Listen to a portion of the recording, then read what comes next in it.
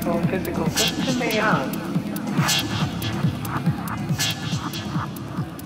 It is the energy in its ground state. All quantum mechanical systems undergo fluctuations even in their ground state and have an associated zero-point energy as consequence of their wave-like interaction.